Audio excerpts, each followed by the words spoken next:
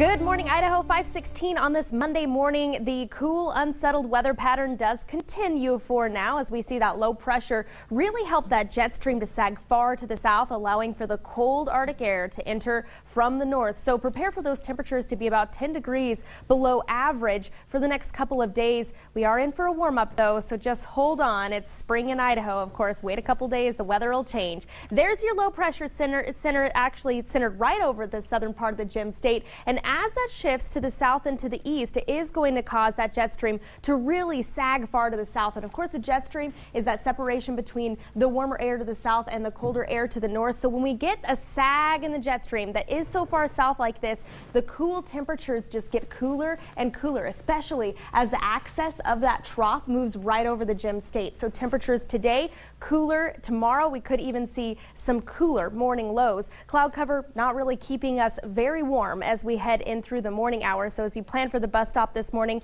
grab probably even that winter coat and don't be surprised if you see some frost out there. Now, we did see the low pressure sneak in through the weekend for light showers in the mountain areas, did pick up some snowfall in the central mountains of Idaho. Now, as we move through into today, seeing that low pressure center, you can see how far that jet stream dips to the south. Now, moving into the middle of the week, high pressure does start to build in, but when you get the competing air masses between that high pressure trying to fill in the low pressure to the east, you sort of see the breezy conditions. So we're going to have the winds return to the forecast, just not today, but expect it for tomorrow into the middle of this week. So taking a look at our highs for today, low 50s, very chilly out there, slight breeze out of the northwest at 10 to 15 miles per hour. Down in the Magic Valley, look at these very chilly temperatures.